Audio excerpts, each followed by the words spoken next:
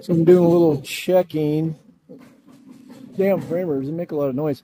I'm doing a little checking on my slopes out my front doors because I was down there in the parking lot looking at this front door to the curb and it looked pretty steep.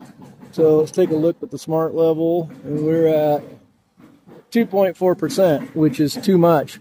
So what I'll be doing is dropping the slab right in here, dropping it down with uh, probably half an inch, and then raising the sidewalk out there. I'll hit about 1.75%, and I should be able to smooth it out right in here to get people out of this door and onto the parking lot without exceeding 2%.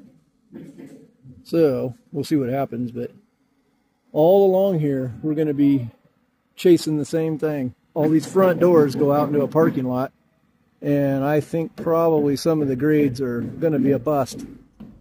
So we'll see. Up there, eh, it's worse up there. I don't know. I'm hoping I don't have any negative slope. I'm going to be coming back into the building. That's really no good.